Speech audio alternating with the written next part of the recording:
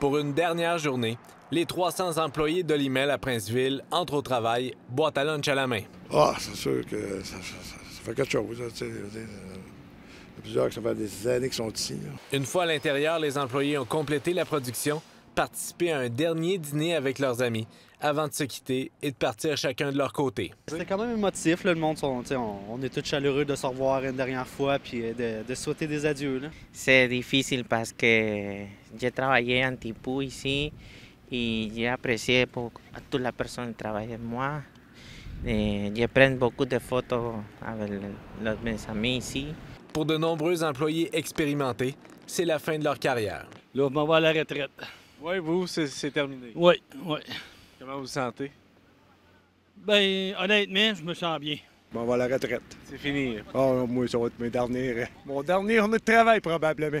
Comment vous vous sentez, là? Ah, euh, un peu d'émotion, les émotions, comment on dit, fébriles.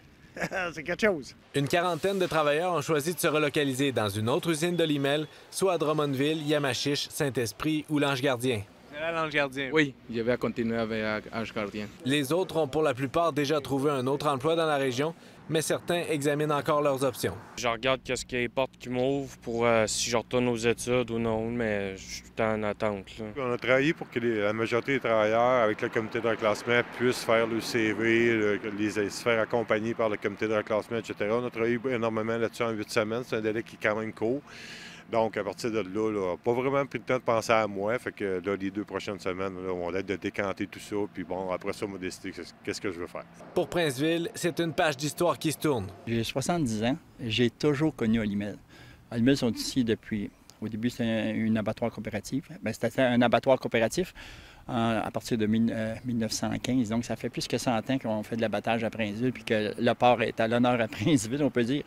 Mais non, c'est c'est triste. Et pour ce qui est de l'avenir du site, du bâtiment, pour le moment, il n'y a pas eu de discussion entre l'entreprise et la ville. Olimel nous dit qu'il n'y a rien de concret sur la table pour le moment. Jasmin Dumas, TVA Nouvelle, Princeville.